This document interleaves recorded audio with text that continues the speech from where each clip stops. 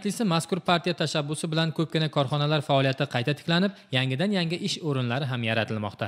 2007-yilda tashkil etilgan mana bu korxona mebel ishlab chiqarishga ixtisoslashgan.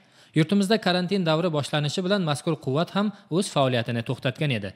O'zbekiston Liberal Demokratik partiyasi faollari, deputatlar hamda tadbirkorlarning amaliy yordami va tashabbusi bilan ushbu korxona faoliyati qayta tiklanib, qo'shimcha yangi ish o'rinlari yaratildi.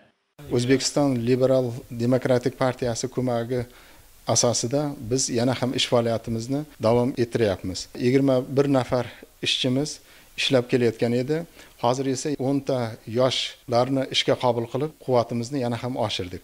Buyurtmalarni mijozlarimizning o'zlari aytgan muddatda sifatli qilib, o'z vaqtida yetkazib berib kelmoqdamiz. Hozirgi ishlab chiqarayotgan mebellarimiz ichki bozorimizda, shu mahalliy bozorlarimizga ishlab chiqarib yetkazib bermoqdamiz. Ishlab chiqarilayotgan mebellarning sifatini yanada ko'tarib, kelajakda jahon bozoriga chiqishni o'z oldimizga maqsad qilib qo'yibmiz.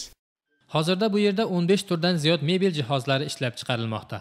Buyurtma asosida ularning soni va sifatiga qo'shimcha hamda o'zgartirishlar kiritib boriladi. E'tiborli jihati, bu jarayonda korxona rahbariyati hamda xodimlari tomonidan karantin va sanitariya qoidalariga alohida e'tibor qaratilmoqda.